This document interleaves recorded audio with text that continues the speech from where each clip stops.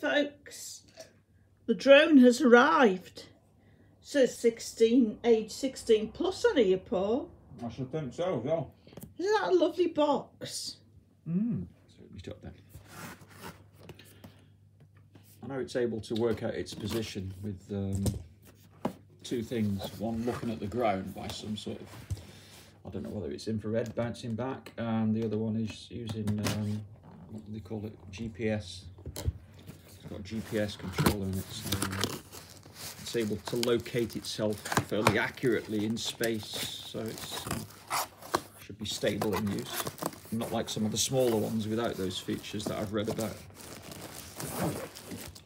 Okay, outside of the box, and uh, oh, look at this, it comes in a little carry case.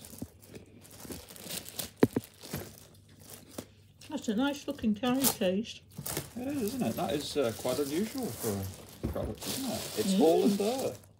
Mm, Little suitcase. mm, really nice that. Easily fit in a backpack, that. Yeah. And you want to take it uh, out for a walk and find some nice open space. Big fields off a public footpath, maybe. Mm, Quality carry case as well. Bit of foam.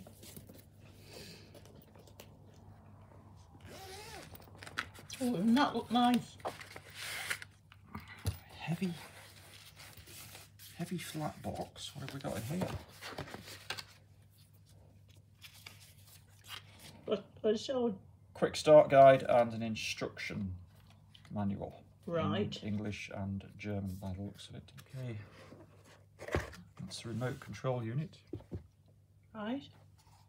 Joysticks. hmm Those are nice.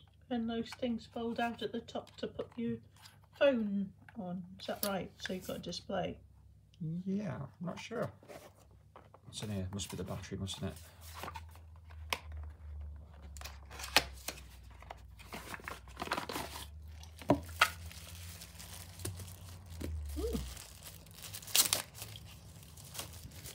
Three separate pieces in there. Charger. Looks like a charger.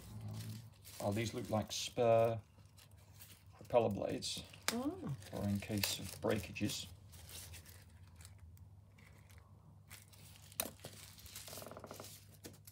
Full set of four. Right. And this looks like a, a screwdriver. Some screws there. Charging cable. So, drone itself, Mm. that's surprisingly heavy. Is it? Yeah. Uh, it comes with a battery in it. The battery's already in, is it? Yes, it is. a few things you can see straight away on there are... Oh, that's the battery, isn't it? Yeah, so a lot of the weight's being made up by the battery. Um, couple of sensors on the bottom, the infrared transmitter and receiver. That's interesting. And uh, remote control uh, camera, which can be pivoted downwards or at Mhm. any other angle. Okay. Ooh.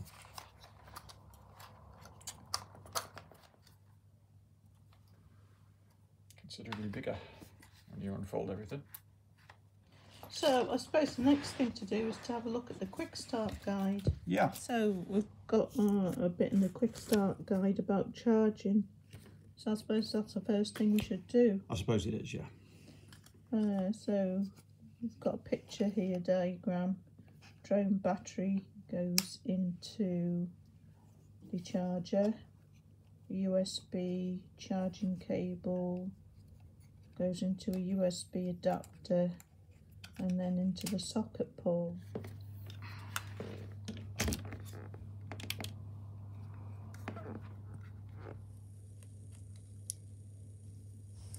Ah, yes. Right, okay, got it now. So, the battery's in, power lights red, the charging lights flashing green. Okay, so we've got to download this app, Ophelia Go. So, Paul's got the app downloaded now. So what does that look like, Paul? Okay, let's turn the app on and see what it looks like on an Android device. Um, that's what it looks like. Right. So the battery is fully charged now. And so Paul's putting it into the drone. Should get a click. It's in. So the first thing we need to do is connect the smartphone to the Wi-Fi network and check the drone status status in the Ophelia Go app. Okay. Select the Wi-Fi network Holy Stone FPV. Okay, so I'll give it a short press. We've got green Oh, lights. start playing Happy Birthday then. Green lights on the back and oh, lights there. I didn't notice those. It's like a UFO. I suppose that might be. Yes, it is, isn't it? Those are lights on the arms. Okay, so it's obviously on. So Yeah. let's let's check and see if we've got that Wi-Fi network on the Android device now. And there it is. Right. So shall I connect to it then? Yeah. Okay.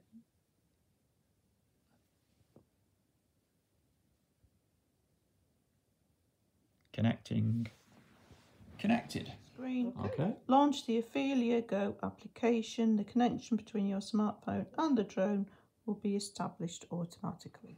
So, Paul's launched the app and uh, the drone is now um, displaying what the camera's taking in there.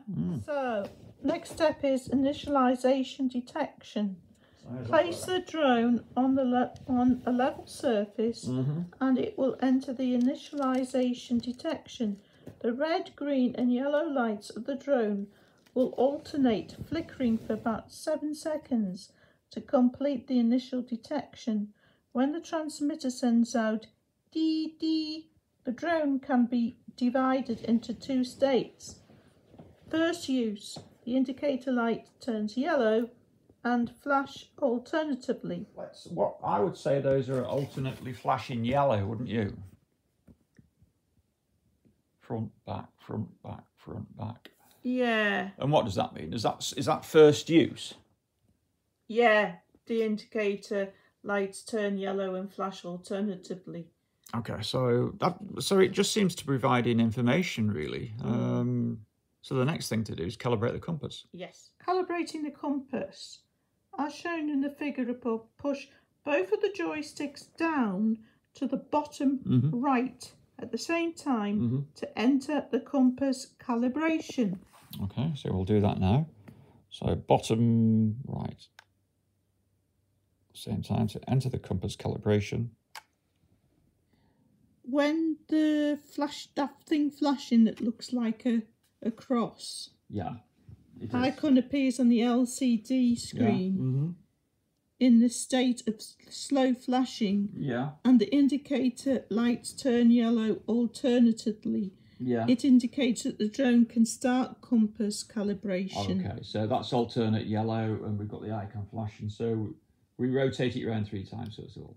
Yeah, it says hold the drone horizontally Mhm. and rotate rotate the drone in three complete circles. When completed, the green lights will flash. Okay, here we go then. One circle, two circle, three circle. Yes, green. Clever, isn't it? It is clever. So what's next? Step three: hold the drone vertically Like that. and rotate the drone in three complete circles. Okay. When completed, the front red lights and rear yellow lights will turn solid, and that, that cross thing on the screen changes from slow flash to disappear. Calibration maneuver. One, two times, and three times. And there we go. We've got red at the front, mm-hmm. solid, green at the back, solid, mm-hmm. and the icon on the LCD, which was here, is now s- it's stopped. Yeah, it's gone. hmm Okay. So we now have So- some beeping as well. Step is unlocking the motor. Please unlock the motor before takeoff. Short press the red button which looks like a lock. Okay. The motors rotate and the drone is unlocked. So I'm now going to unlock it with a short press and probably in a panic I'll be locking it again with a long press. So here we go. Unlock with a short press. Woo! Something flew, flew off. It was just a draft of just paper. All right. Oh, that's that's good to know. So the, the motors are rotating, but there's only slowly, no thrust. And they've stopped. Toby. Mm. So we're hoping that we'll be able to finish off this video by doing this. A one key takeoff and landing. After unlocking the drone, short press the uh, arrow up and arrow down button. Yeah, that's the takeoff button. One key takeoff, yeah. The drone will automatically take off and hover at 5 feet altitude. Mm-hmm. When the drone is flying, short press the same button, the drone will automatically land on the ground. Okay. So we've brought the drone outside now. We're going to try to do this five foot in the air test flight. Got the phone here which is currently showing the garden, Paul, Okay. and the fence and a tea towel. Right. So I'm going to unlock it and get it to take off. All right. Okay.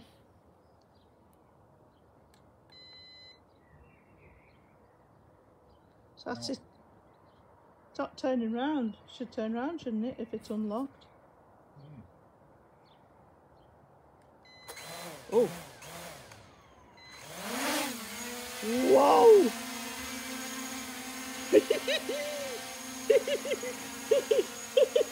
It's like- Ooh, that was a bit rough, wasn't Ah, I think I did something wrong there.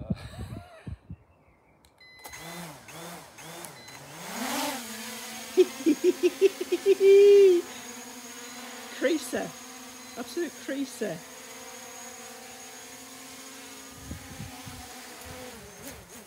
That was better.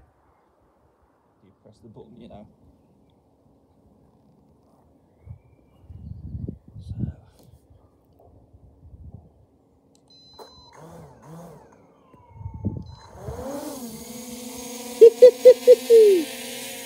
It's filming you.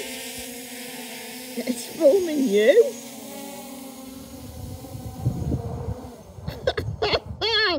so you were saying you panicked? I um I unlocked it.